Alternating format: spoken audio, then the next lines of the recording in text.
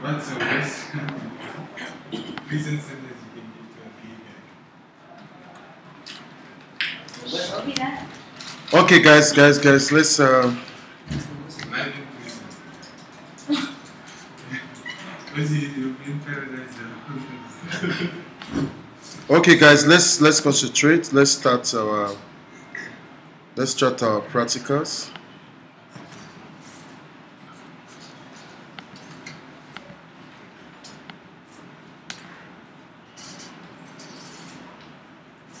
Okay.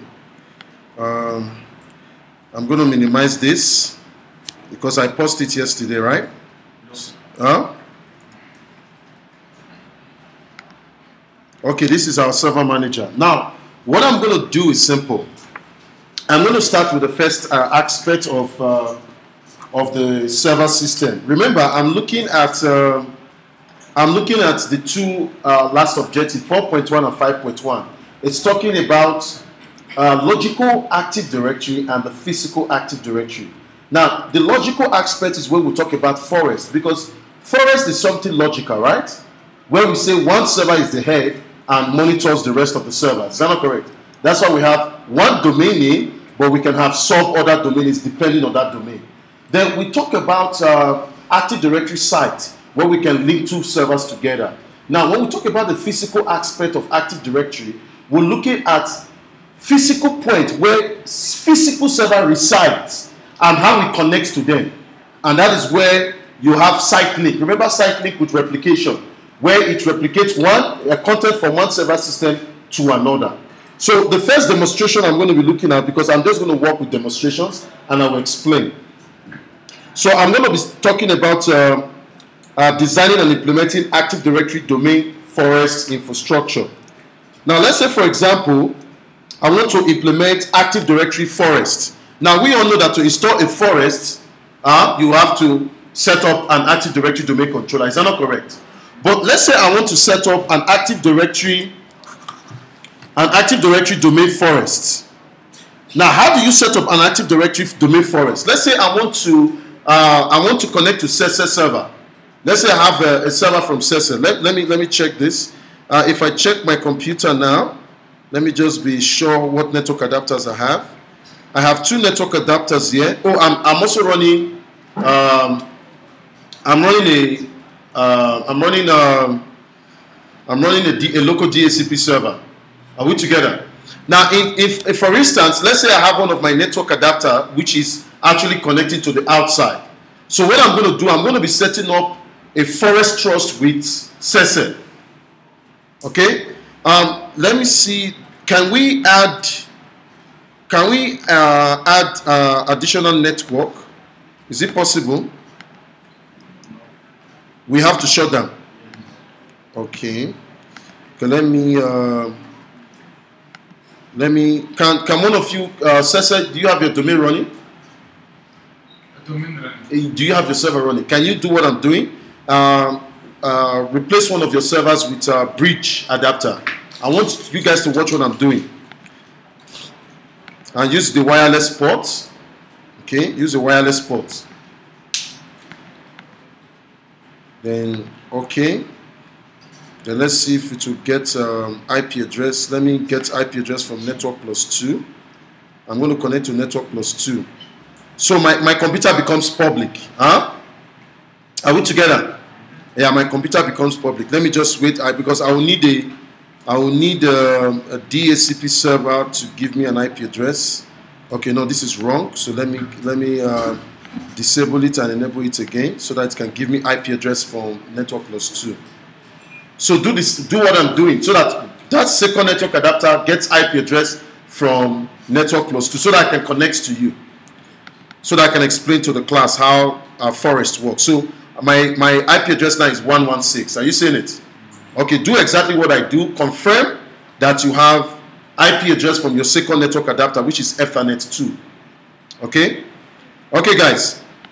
Now, what I want to do, uh, what I want to show you is how uh, an administrator sets up how you can set up a trust between two server systems. We're talking about Active Directory Forest Trust. When you check your book, you'll be able to uh, get to that. So the first thing I will need to do is to create to create a, uh, a DNS. I need to create a DNS record for uh, server. Are we together? Huh? Okay, Sese, can I have your IP address of your server so that I can ping it? So that I'm sure that I can be able to get to your server system. Okay, can somebody do exactly what I do as well? I need I need a computer to work with for the forest so that I can explain this. Can somebody change one of his network adapter bridge? Then it will disconnect, it will try to connect, but make sure your host computer is connected to network plus two. Then you give me the IP address so that I can communicate.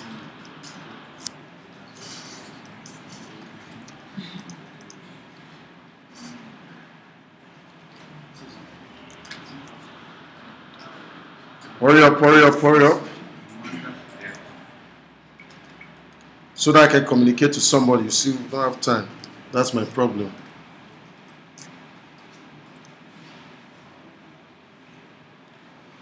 Just change one of the network adapter, make it bridge. It will automatically change immediately. It will disconnect, connect again, and it will be active. I want to show you how Forest Trust work, uh, so that it's we'll see how it works within a, a real uh, that, uh, environment. Ready. Okay, can I have the IP address? Huh? 117. So it's 192.168.5.117.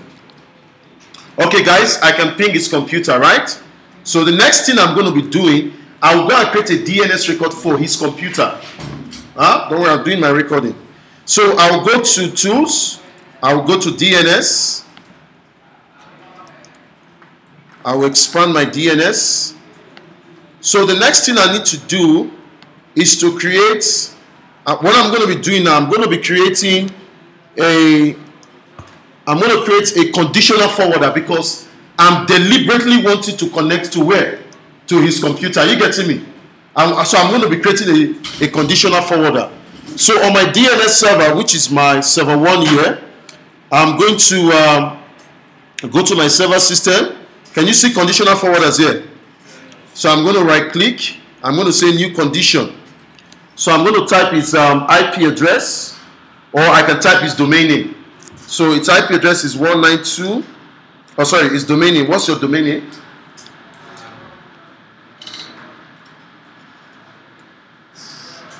You should know your domain name. You don't need to go there to look at it. You should know your domain name. Local server. Yes?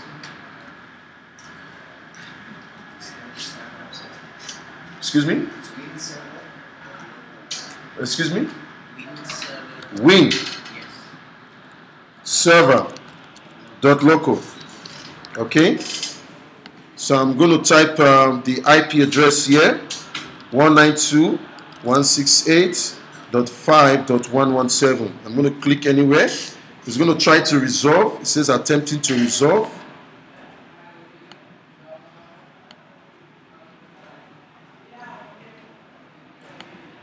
Click OK. So that's the record. Uh, let me go back again to the property just to be sure if it's able to resolve. Is it, is it resolved now? You see the, the, the good mark, right? Meaning I'm able to talk to him. Okay. Now that's the conditional forwarder I've done now. The next thing I'm going to do is to try to do NS lookup to his server, to his to his domain server system, meaning the server, the, the server name, and the domain name. So what I'm going to do, I'm going to go to my PowerShell. I'm going to type nslookup, nslookup. NS.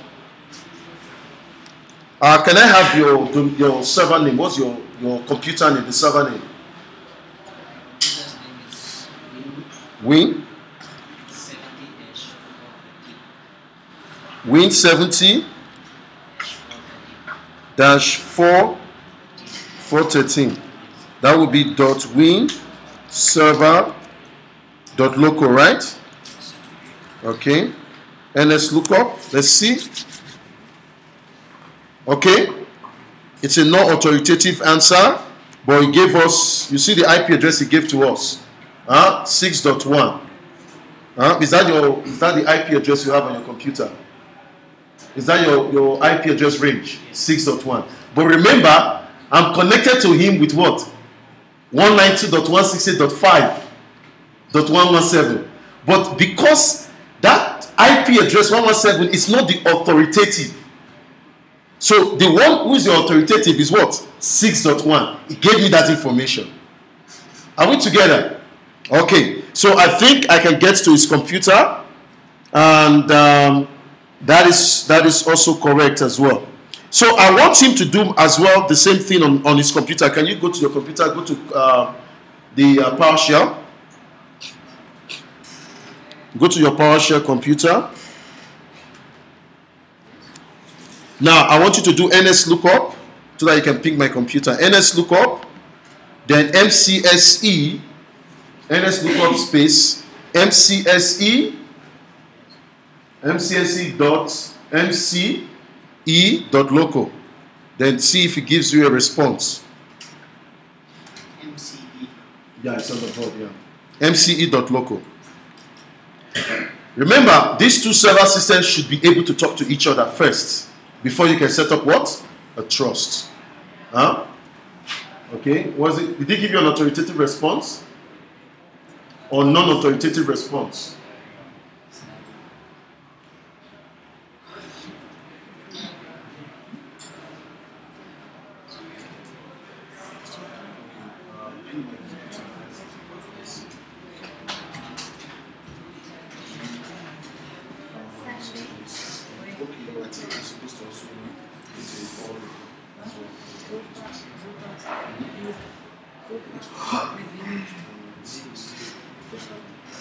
Yeah, you still need to also put, uh, you need to put it forward before, conditional forward.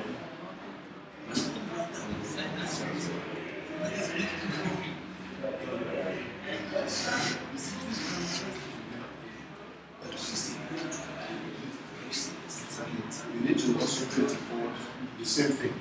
Okay, I think on his computer it's timing out. So, okay, what he needs to do is to also create the same. Um, um, what he needs to do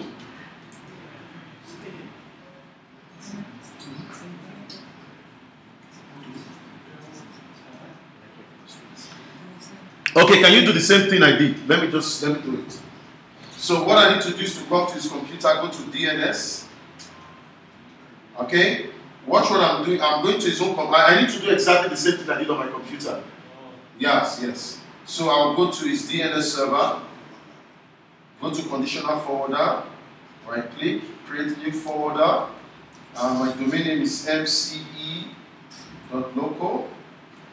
I'll come in here and type my IP address, which is 192.168.5.116. I'll click on this.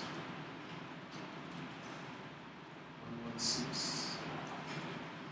Let's see. Take its time. Let me just hope it's able to resolve. Yes. Submit. Yeah, it's okay now. Huh? Okay, so if you go and do NS lookup again, you should be able to resolve now.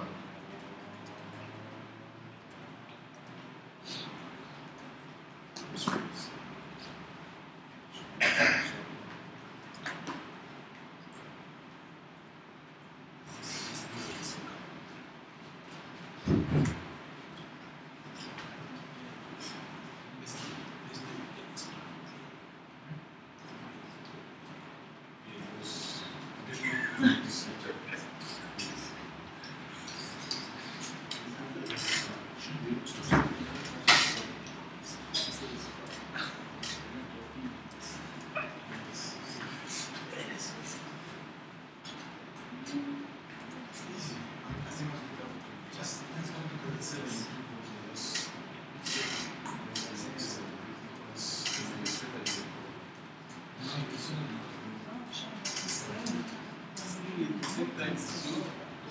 Look up.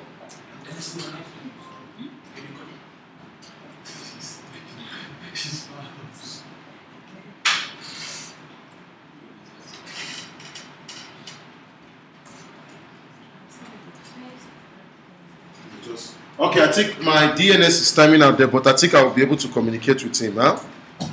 Um, some of the times it means maybe firewall settings and things like that. Okay, the next task I'm going to be doing.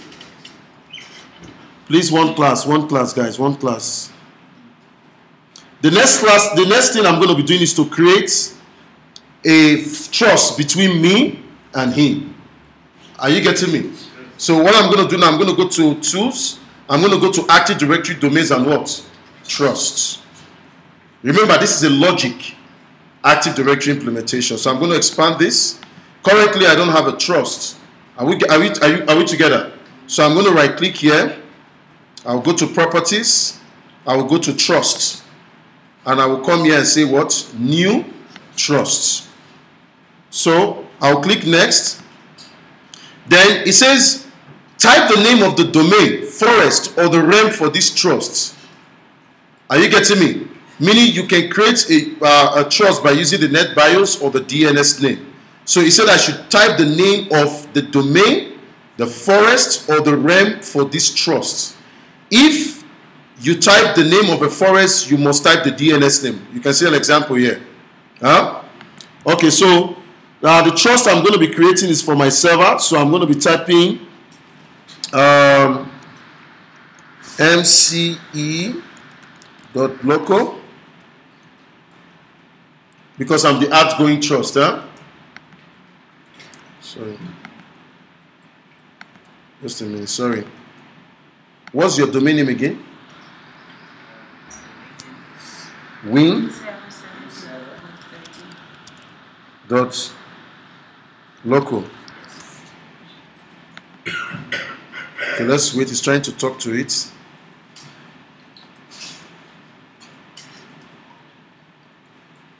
So you, that's the you, you was, I was supposed to type the partner server name on on this place because that's who I'm creating a trust with. Now it has stuck to it. Now you know realm trust. This is for non-Windows computers. Are you getting me? So uh, I'm going to be trusting a Windows computer, which the domain is this. So I'm going to click next. What's going on on the wizard? Why I can't contact you? I usually had this problem last time because I wanted us to go through that level. Win server dot local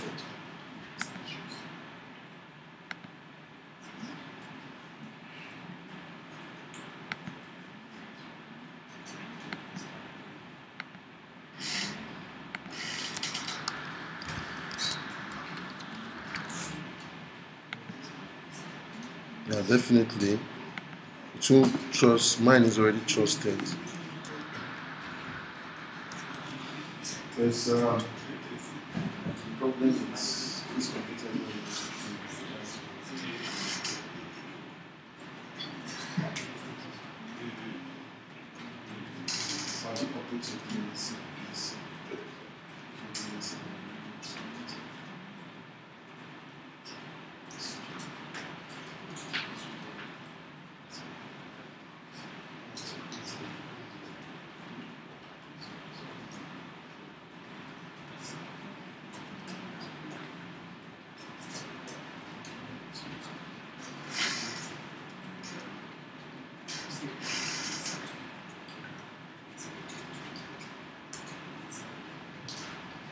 Let me try again.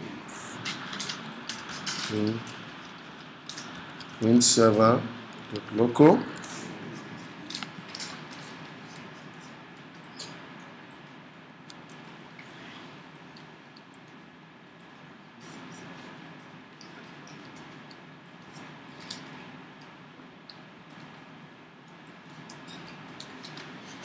Okay, a domain trust.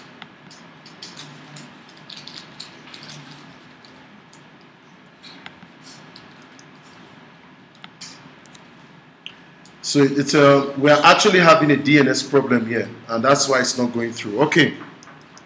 Normally, when that wizard goes through, I'm going to be configuring the trust between my server and the server system. So both of us are actually going to be talking to each other. I think where I'm having a problem, it's because of my I have two networks here that are, are currently active on my system. So that is why going out, maybe the connection coming in from there, it's talking to the 6-1. Uh, and the sixth one is not responding to me. Are we together? Yeah. The six because the sixth one is not responding to me. Let me let me try something. Let's uh, let's take the 6-1 out.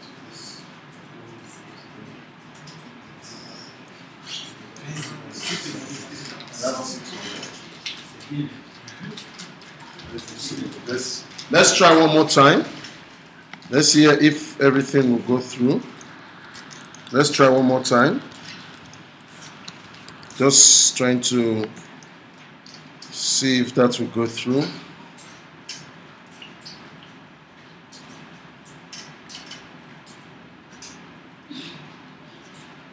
But before, for, if I wanted to do best, if I wanted to make sure this thing is working, I would have run two server systems. Then it would have been perfect. Now, if I had two server systems on the same local network, then it would be perfect. Ah, it's fine. Okay, um, that is for that is for the site. So the wizard comes up and it asks you to go through the the outgoing and incoming. So what is going to happen? The moment I join my server with his computer, they will both appear here. Then we'll have a transitive trust. If it's if it's two way.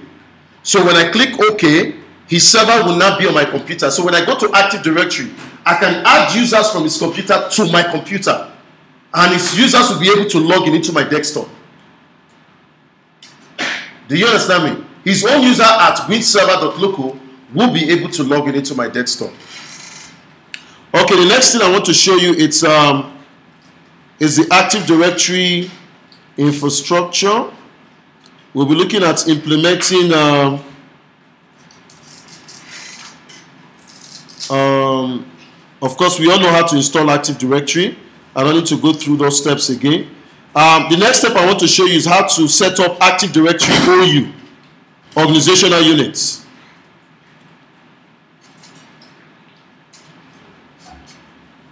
So let's say you have an organizational unit. Uh, it's called the Central IT.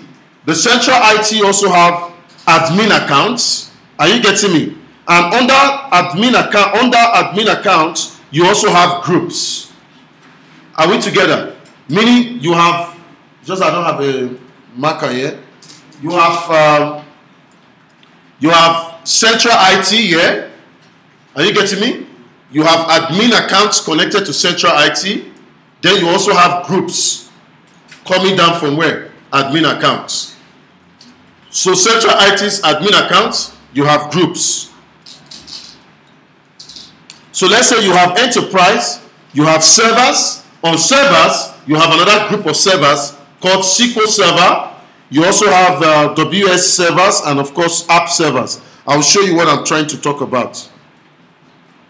So our task here, what I want to do now, what I want to demonstrate for you. Remember, I'm trying to look at how to set up OUs. There's something I want to do. I want to use um, a PowerShell to actually configure an Active Directory OU, to create an Active Directory OU. Just follow the command. So I'm going to come here, I'm going to type um, new dash AD O, or that's organizational.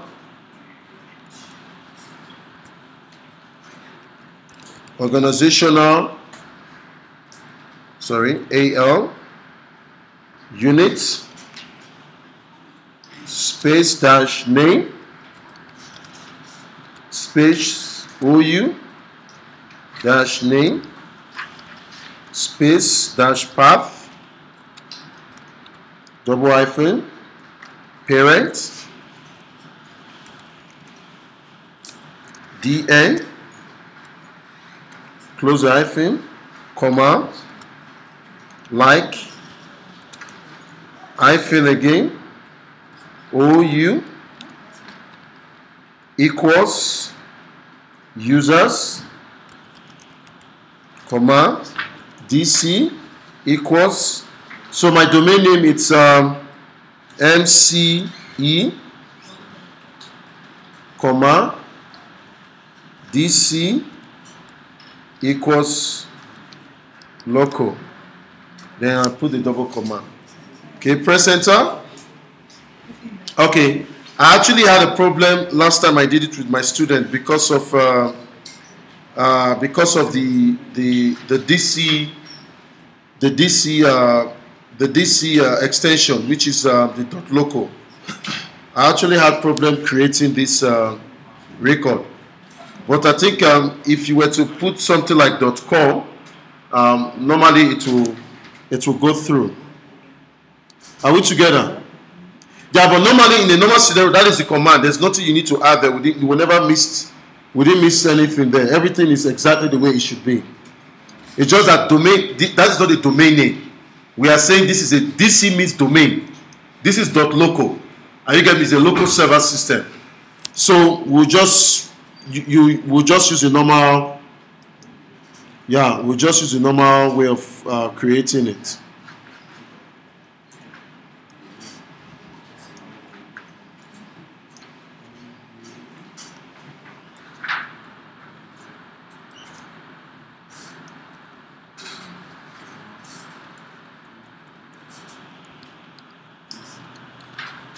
Of course, we don't have any server parents as .com.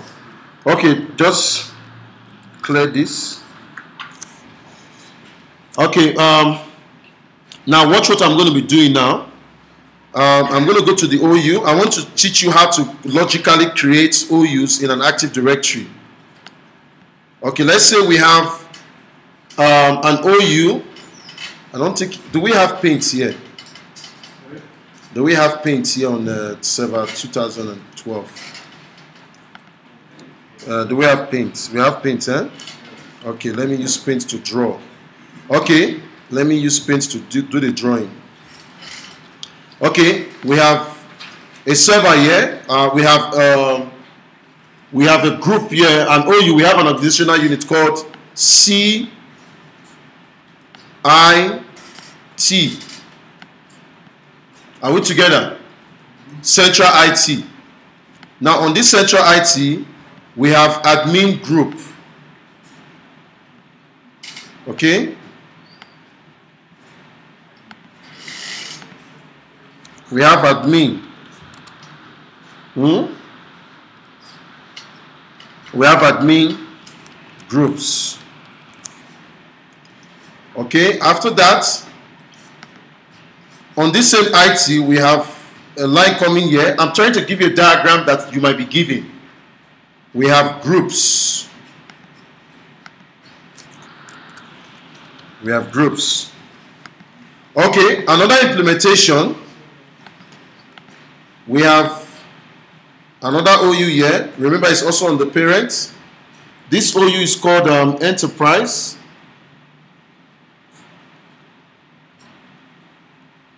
Let me just bring it up here. Okay. This OU is called Enterprise. Enterprise. Then on that OU we have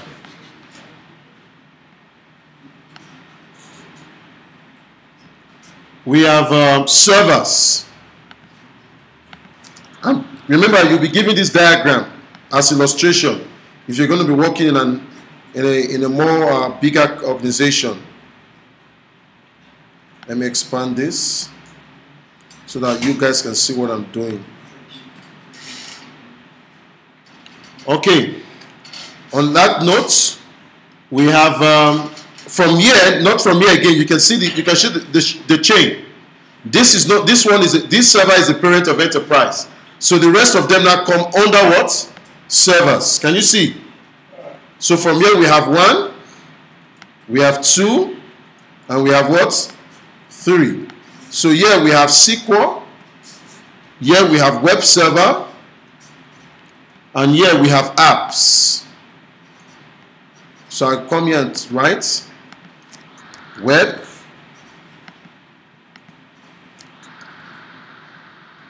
SQL SQL and apps. Now you might be given this diagram to set up a structure of a company's Active Directory. Are you getting me? So that is how you can, if they say uh, want the web servers, the SQL servers to be on the servers. The servers should be under what? Enterprise. Are we together? Okay, let's just work with that. Then I'm going to show you how to also add description to the Active Directory. So let's go to Active Directory. Can minimize this. Let's go to Active Directory. So I'm going to come to the parent. This is the parent, right? The main domain. So I'm going to come to new. I'm going to say organizational units. Then I'm going to type central IT. I can uncheck accidental deletion. Central IT. So I'll click OK. Did you see Central IT? Huh? Okay. Let's go to the property. You see description here. Did you see description? So my description here, I will type admin account and groups for delegation.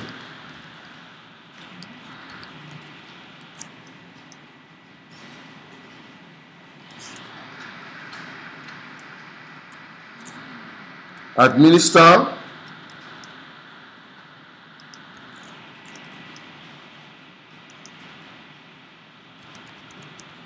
From domain. Admins only. I'll click apply, I'll click OK.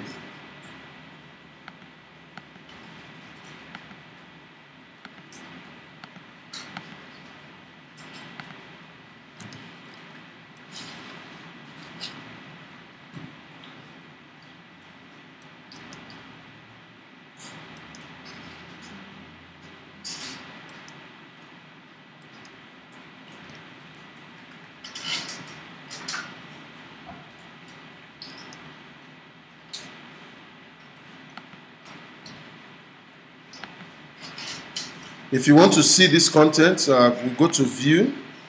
Let's say um, advanced features. Central IT. Then it will be to show you all the contents. If you right click, you go to view, properties. You see the what? The descriptions there. Huh? Did you see the descriptions there? Okay, let's do that for Let's continue with the, di the diagram we drew. Huh? Remember the diagram we drew? Admin group and what? Groups. Is that not correct? So we go to central IT and do the creating now. So we go to central IT. We go to new. We say what? Organizational units. Then we type admin groups. We check accidental deletion. We click OK. We come again to Central IT, new organizational units, groups.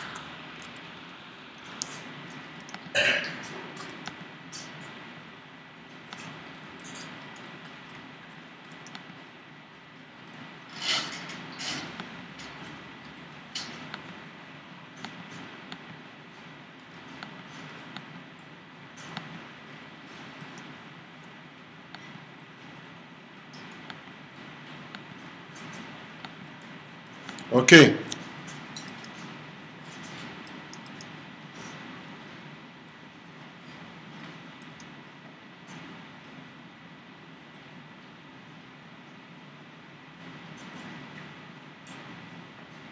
Now, let me show you something else. Let's go to Active Directory Administrative Center. Let's go to Tools, go to Active Directory Administrative Center, sorry.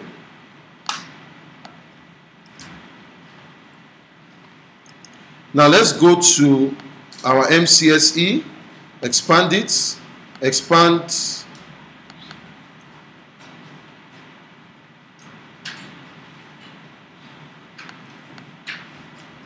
Now, did you see that description we, we put in there? Can you see that description? Did you see the description there? Admin, uh, can you see it? What we typed earlier on. Admin accounts and groups for what?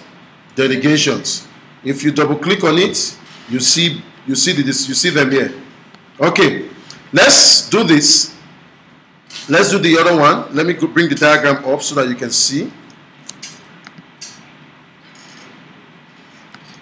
The diagram says enterprise, servers, web server, SQL, and what? Apps. Are we together? So to create that, we can come in here. We go to the main domain system. We go to new, OU, and we call it what? Enterprise. Is that not correct? Hmm? Enterprise. On check accidental deletion. Click OK. Now under enterprise, we are supposed to create what? Servers. So we go to new, OU, we call this what? Servers. On check accidental deletion again, click OK. Now under server, so we're not going to create it under enterprise anymore. We'll now create it under what? Servers. So go to servers and we now say web So that's a web server. We go to servers again. SQL. Check. We go to servers again. Then we type apps.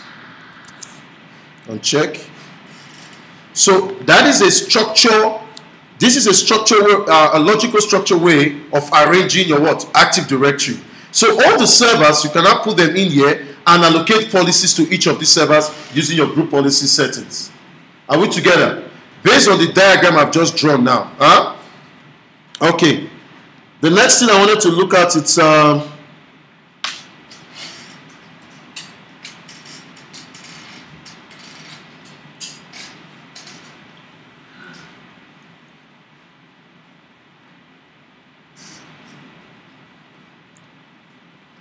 Okay, normally there's a way you actually can migrate user. Like I can, you can export users from there. I can bring them into server, my server now. I can import the users as well. Then I can change all their settings and informations.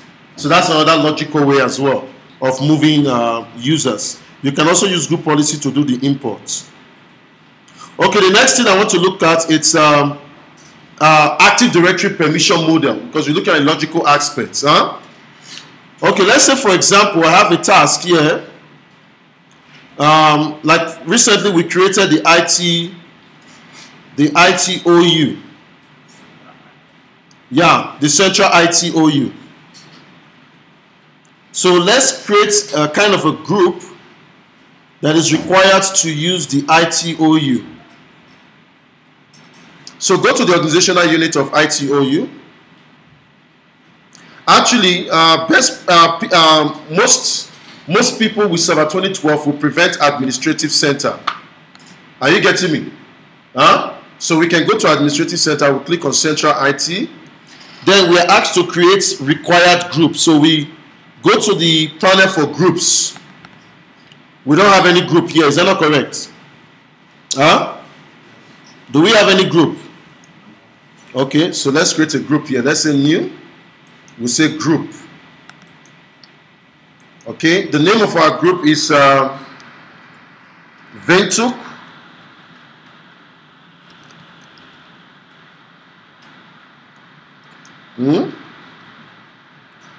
v2 dash user group provisioning.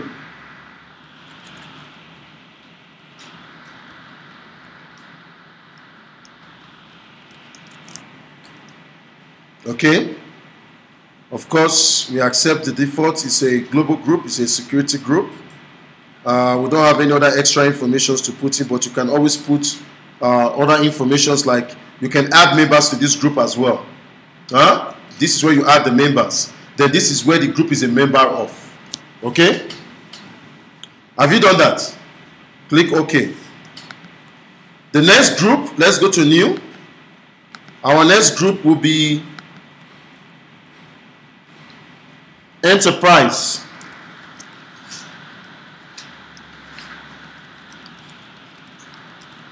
Dash server OPS. Are we together? Then we click OK. The next group is marketing admin.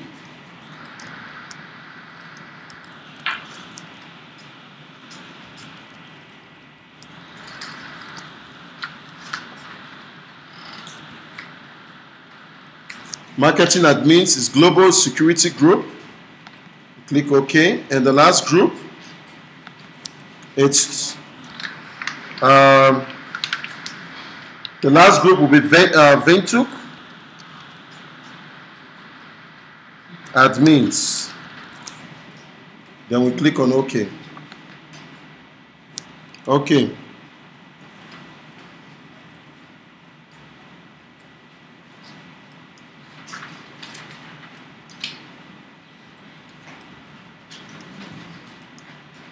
Okay, let's create a local group.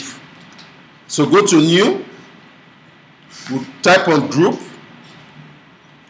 we'll type um, ACL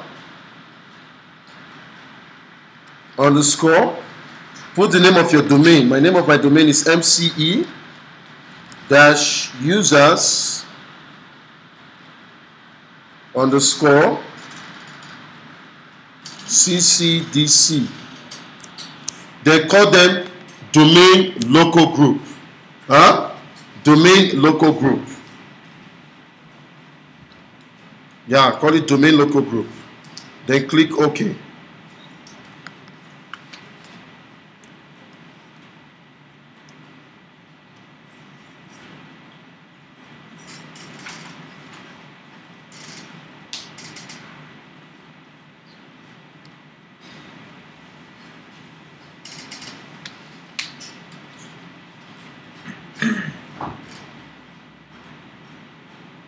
Okay, those are domain local group we've been playing, but uh, creating one is okay. We can do more. If you're asked to do more, you can always do more later. Okay, now how do you delegate permissions to the to to you know these groups now? You want to delegate permissions to them, though they are admins, but they can actually be tasked to do different things. Are we together? So to delegate groups is very easy. So let's go to uh, our domain. Can we go back to our domain? Click back on your domain here. So let's go to users. Let's go to users. Did you see the user container there? Okay, click on it. Just click on it. Then on the right, you see property. Huh?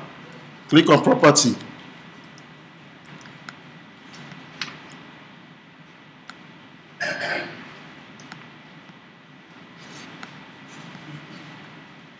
Have you clicked on property? Huh? Okay, let's go to extension. Now you see all the permissions there, right? Huh? Did you see all these permissions that are there? Okay. Now in this task, we're going to use advanced security uh, policy. What we're going to do, we're going to try to check, take out some objects from this user so that they don't have certain rights in certain aspects. So to do that, we go to the security tab. Then you click on advance. Of course, you see allow, allow, allow. Do you see all the allow there? Huh? So that is the permission. Now in this task, what we want to do, we want to select a principal uh, permission for each of the user. Remember we created a user, a, a domain local group recently, right? The AC underscore our domain. The group we created earlier on. So what we're going to do, we're going to select a principal for that group so that the, that group has a, a, a, special permission to carry out certain tasks within the server system. Now this is logical. You're not physically telling these people you, this is what you have. The computer will tell them when they try to use the system. That is a logical part of the server.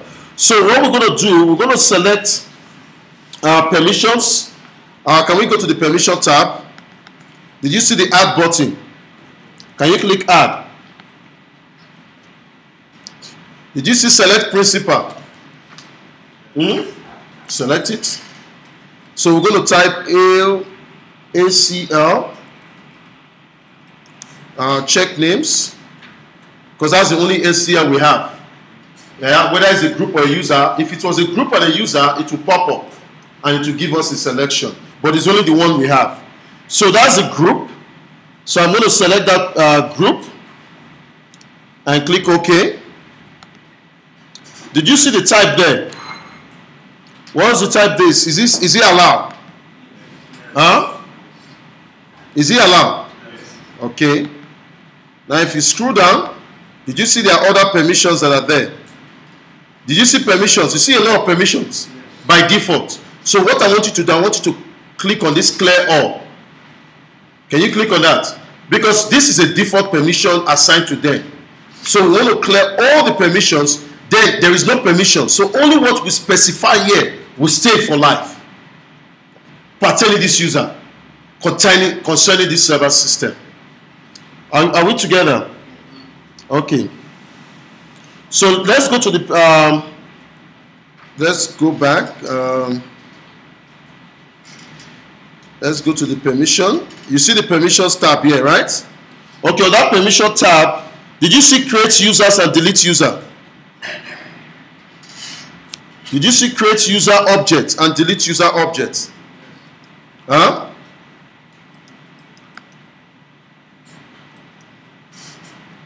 Create user objects. You scroll down. That should be you.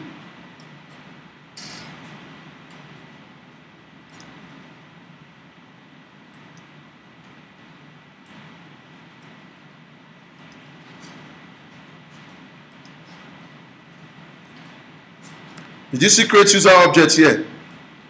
Click on it and delete user object. Okay. Can you click OK? Of course, it's an allowed, huh? So click OK. Did you see their permissions there? Huh? But let's go to normal authenticated users. You see, normal authenticated user is what? Special. Right? You see, other users are just specials. But this particular group, they are not administrators, but they can create users and they can also what? Delete users. Are, you, are we together? Okay. Make sure you follow what I'm doing. Okay. Click apply. Click OK. They come here and click cancel. Okay, that's what we've just done.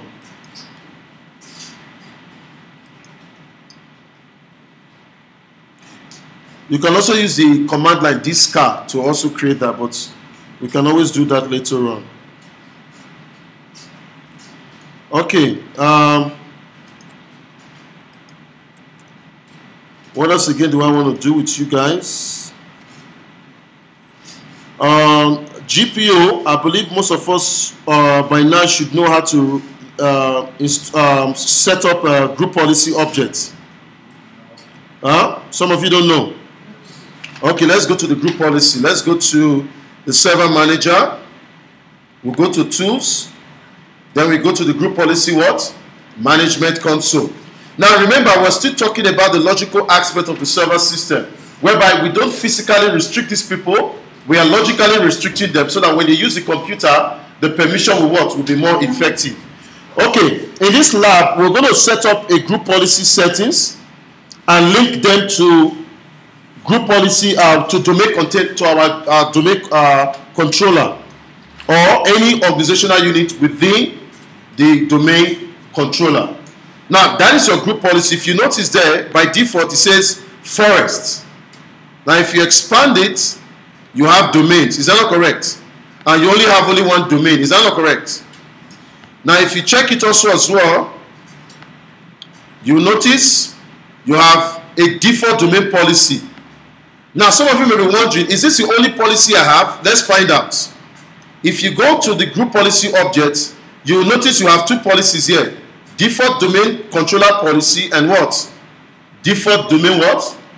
Because those are the only two policies you have.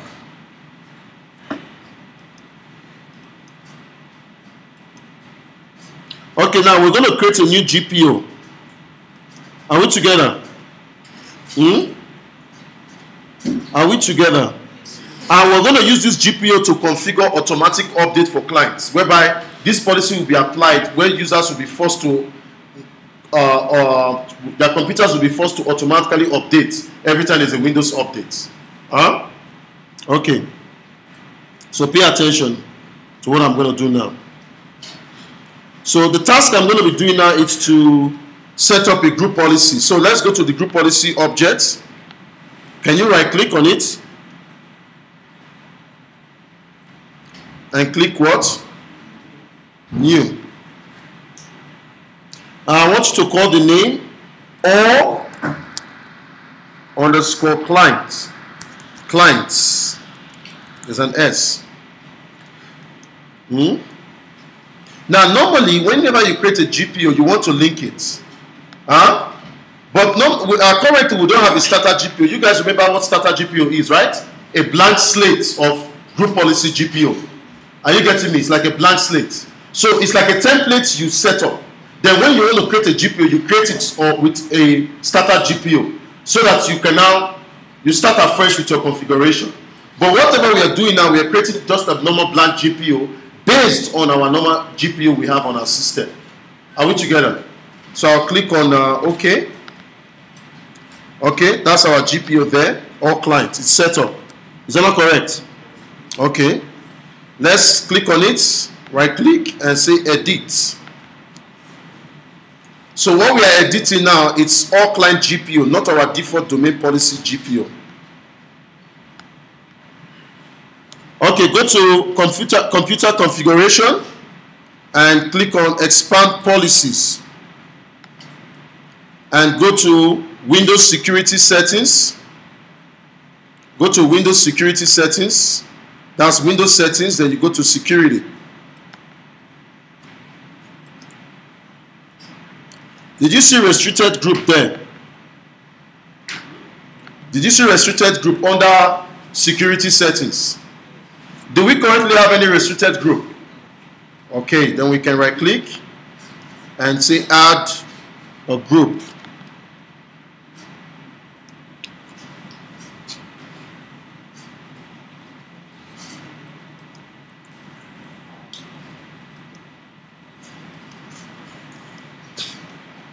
Okay, type administrators.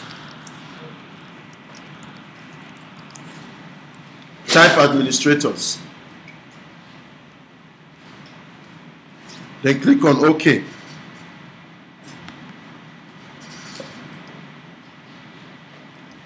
It's a name. Are you getting me? Yeah. Huh? It's not administrator we're restricting. It's a name we are just giving, but we want to restrict specific administrators or people who are administrators. But they will be put on a restricted group. Okay. The next step we're going to do now is to put members to this group. Okay, can you click on um, members of this group? Click add. Do we have IT? Hmm? Do we have IT groups? Hmm? Let's click on browse. Do we have IT in our computer? Server IT. Central IT. No, that's not a group. That's an organizational unit.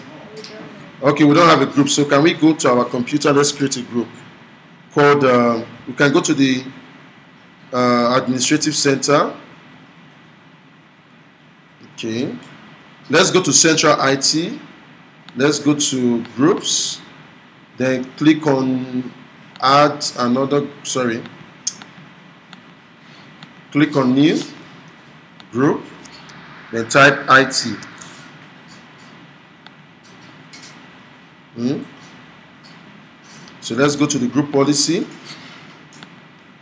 So if I check names now, it will work. Hmm? So click OK. Then click OK. The group has now been added. Huh? You click apply and you click OK.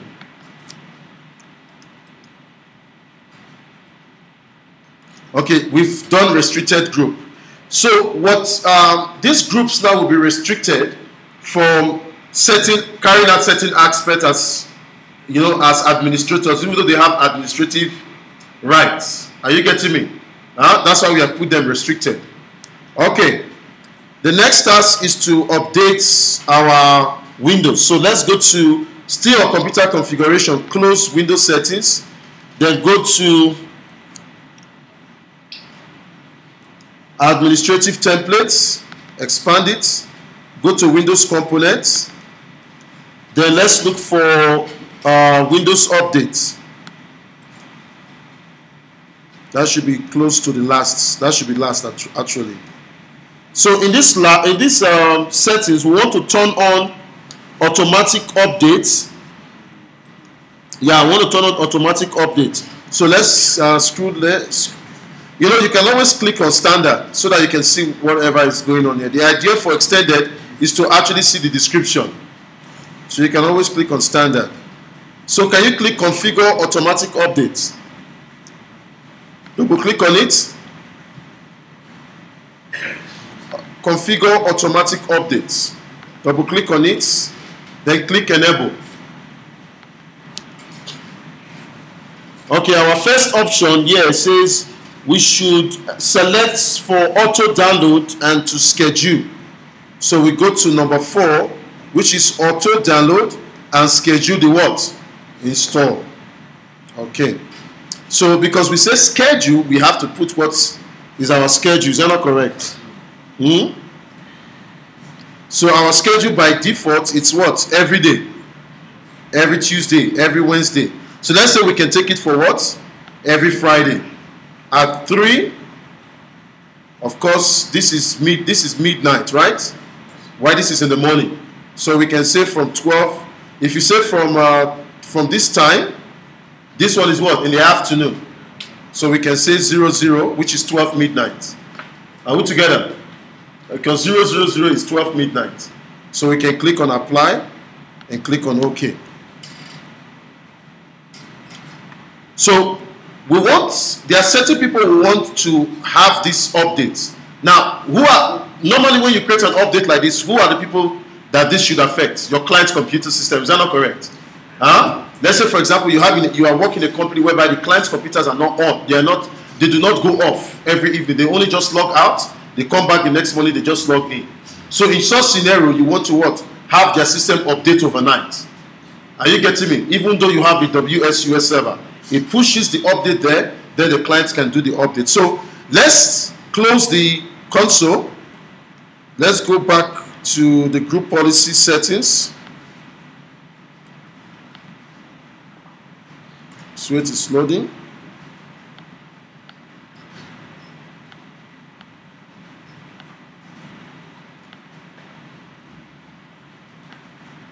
So expand the group policy settings. Let's confirm if the permissions we have set are, are actually correct. So let's click on click on all client settings. Go to settings. Look at it here. Go to settings. It's generating a report. Uh, click on add. That's just for security for your web browser. Say expand all. You will notice that the two settings we set, they are actually enabled. Can you see? This is a report telling you that what you have configured is what? It's, it's, it's, it's correct. Are we together? Yeah. So this is what we've set up and everything, it's, um, it's correct. Okay, the next thing is to link the GPO. Okay, we have a we have um, an OU called um, tests. We also have an OU called enterprise. Are we together? On enterprise, we have servers. On servers, we have what? Apps. So I want us to create um, enterprise. I want us to create client computers. So we're going to call client, and we're going to say uh, uh, we are Windows Windows workstation. So what I want us to do, let's go back to the administrative center. We go to domain we click on new because it's a parent. We click on new. We say uh, we need to create an uh, OU, so we come to the down here. This is under the domain. So we go to organizational units. We type um, clients. Then we'll say um, Windows 7, 8, and Windows 7, 8, Windows 7 and 8 work stations. Are we together? Uncheck accidental deletion, then click OK. So next we go to the clients OU, then we go to new, we go to organizational units, then we call this one Windows 7. Okay, we click OK. So now our OU, we want Windows 7 systems to be what? To update automatically. Are we together? So what I'm going to do now, I'll go back to my group policy. Uh, you can come here and refresh. Huh? You see, uh, refresh so that we can have our clients OU appear.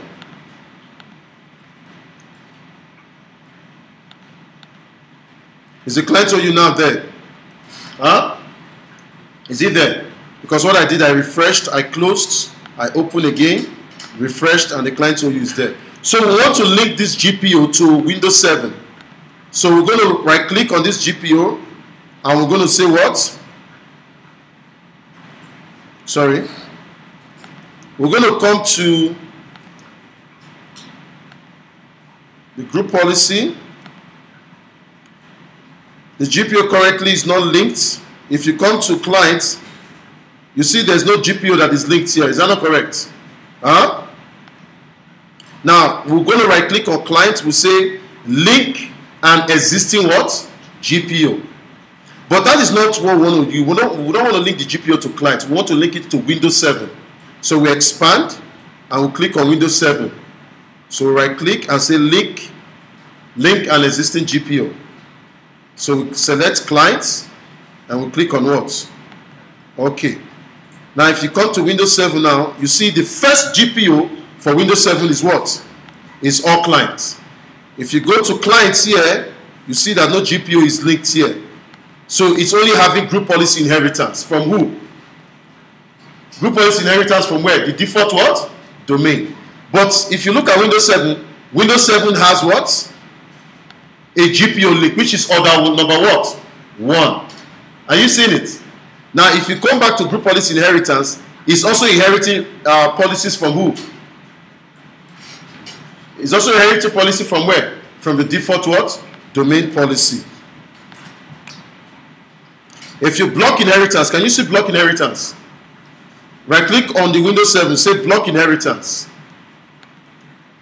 If you block inheritance, you'll notice there's only one policy that is that is that Windows 7 client uses, which is what? All clients. Are we together? So the default domain policy has no business to do with what? Windows 7. Of course, all you need to do is to uncheck it and it's back.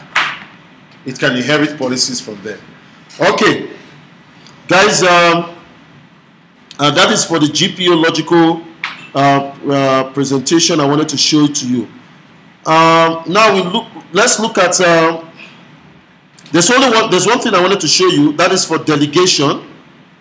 Uh, that is the physical aspect of server systems. I will show you the delegations and uh, sites. That's the last thing I'm going to look at now. Huh? So I'm going to minimize this.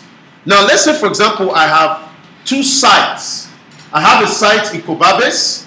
I have a site in Katima. I have a site in Oshakati. Now, how do you set up a site? It's simple. Remember, the idea for site is for one reason replication. Are we together?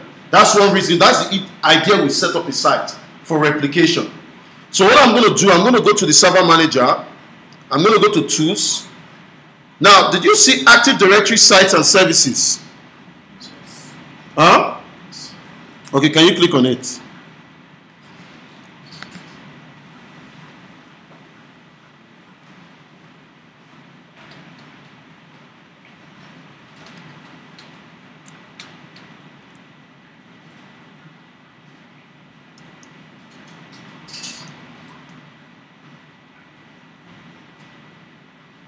Is the site open? Hmm? Now expand it. Did you see you have your default site there? Huh? You remember when we set up Active Directory, it calls this site default first site. Are we together? But you can rename it. Huh? Okay. So now, if you notice on that default first site, did you see servers there? Now expand it. You now see you see your, your domain name, which is MCSE, the computer name. Now, if you expand it, you now see NTDS settings. Now, this NTDS settings is for your what? For the server, which is this MCSE. Are we together? Huh? Okay. So let's say I want to change this site. All you need to do is just you can just click on it like this, or you can click on it and you can say what? Rename. You can call this one main. You can say main site or main office because you don't because the site you are main office. Now there's a problem here. It says a site name cannot contain space or any dash or can you see?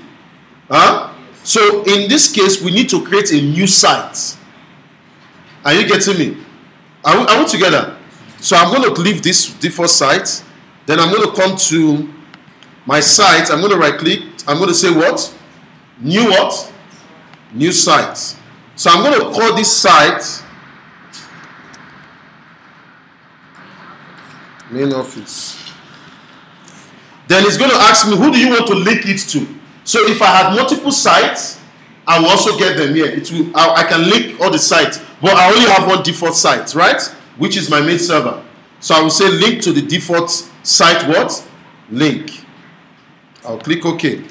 But there's still a problem here. It's still telling me that there must be a dash.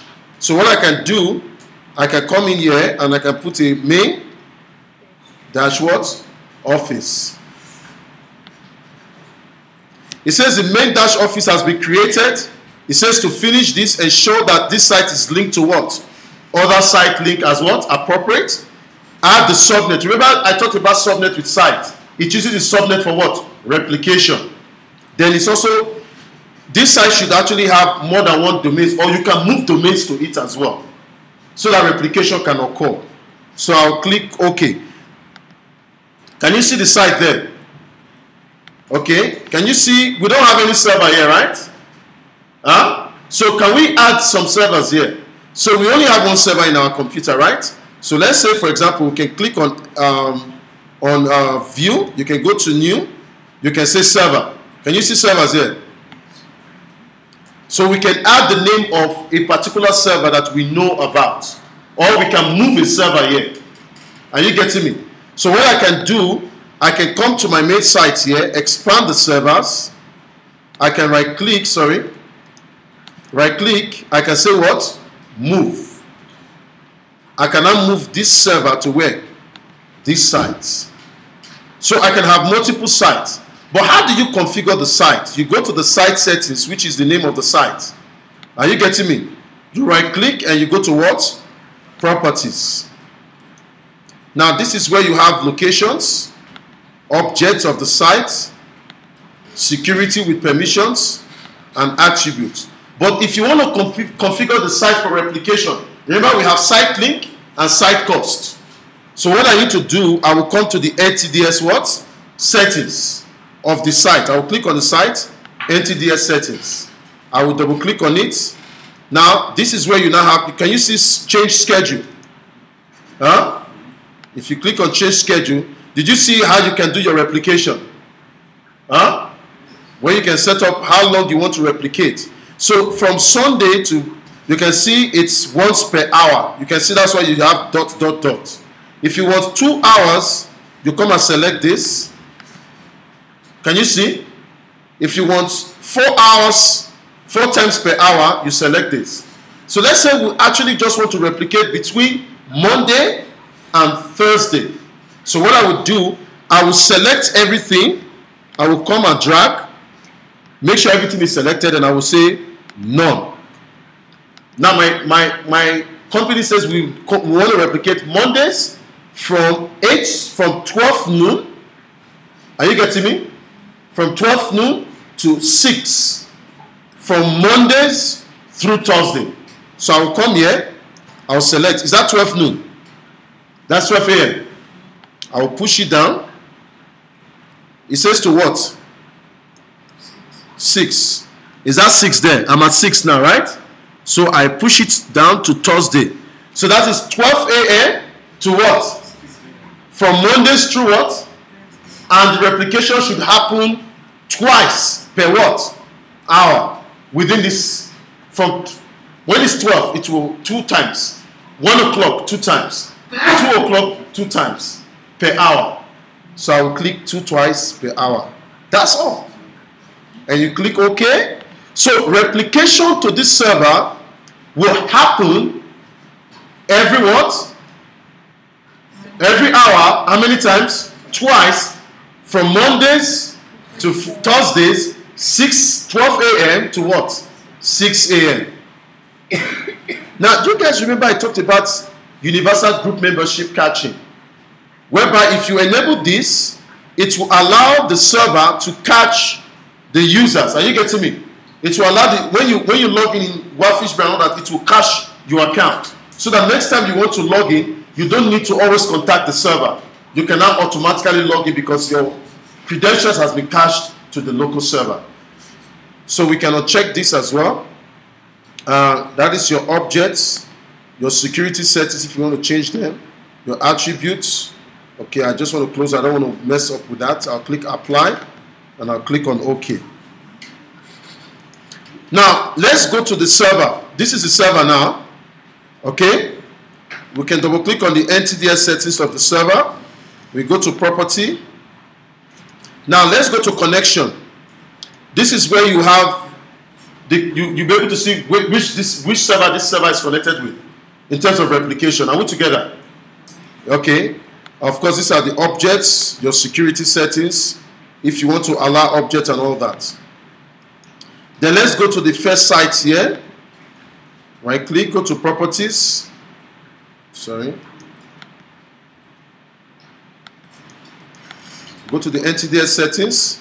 This is you can also change schedules on your main site as well, and the objects and all the other options. Now you know you saw here there is uh, subnet. Did you see subnet here? Now subnet is where you put in the IP address you want the replication to happen.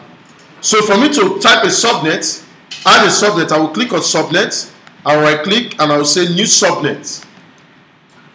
Then I will need to point the subnet to the actual site that is represented within the Active Directory site and services. So of my subnet is actually 192.168 dot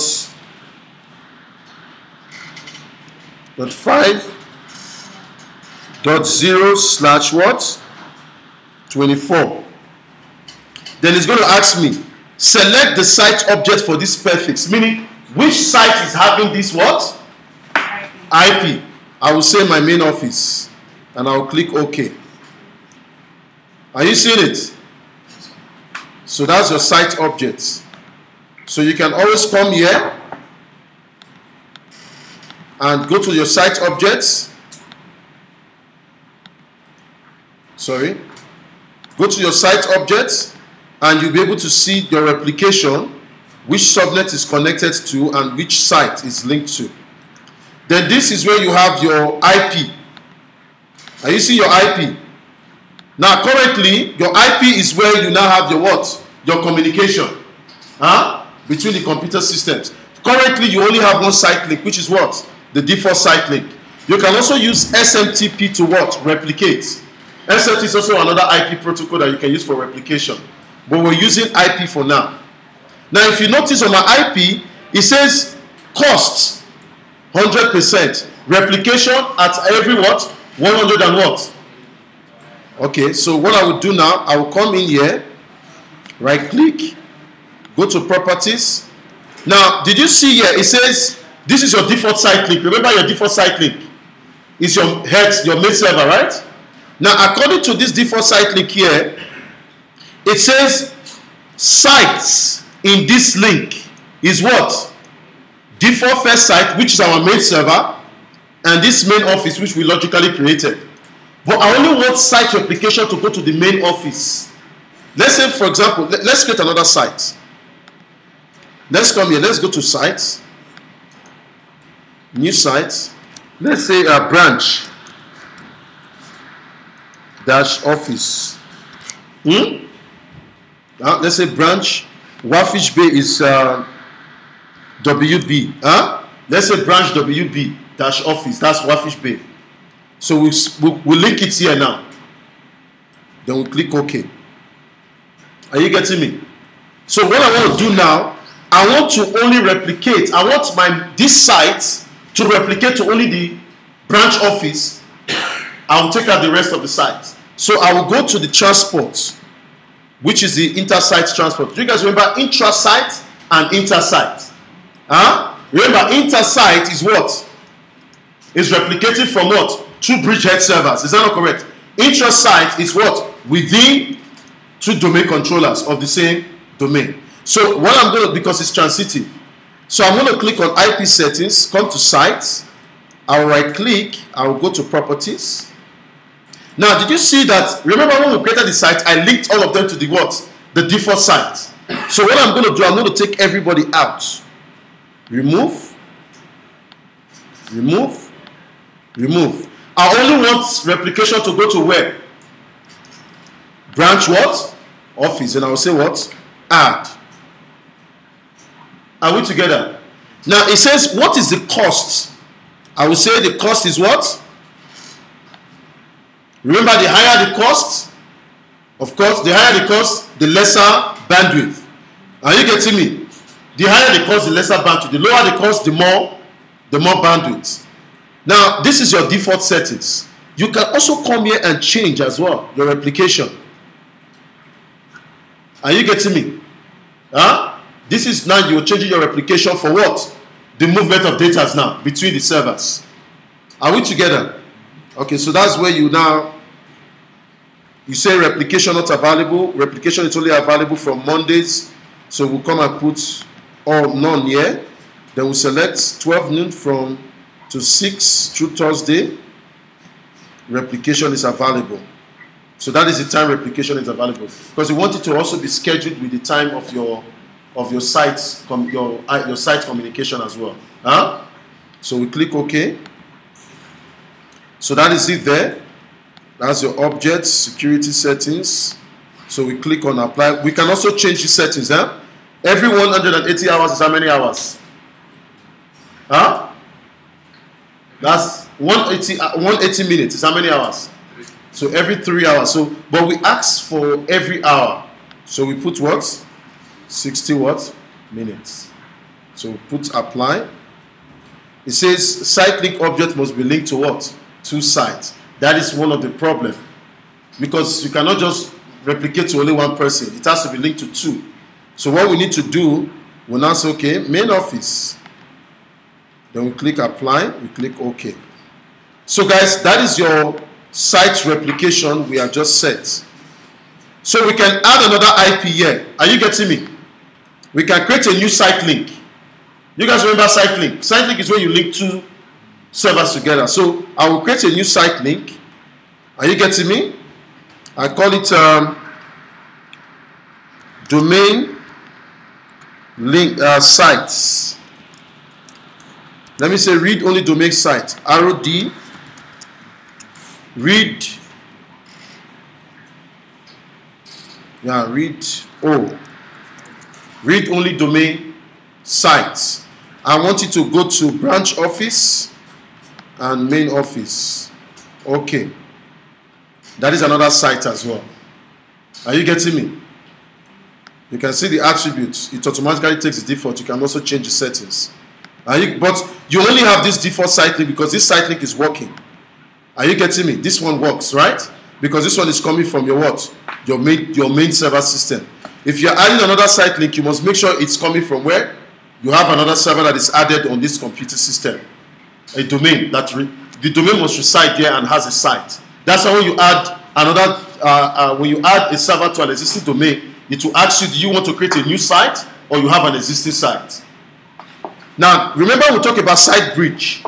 So if you right click here, you can create new site bridge. Now, site bridge is whereby you link two sites together. Are you getting me? So replication, when replication gets to that site, it moves to the other site as well. So currently, I can give this name uh, site bridge one. Then I'm linking these two sites because these are the only two default sites I have. Then I can link them together. So let's say I can call this one uh, site hybrid.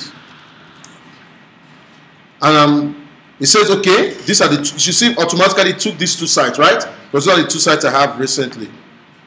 So this site bridge will now replicate to those two sites. So now I'm going to right click on the site property. I can always remove, add, change, and all of that. Are we together? So guys, that is um, that is all within the site server systems I can show you for now.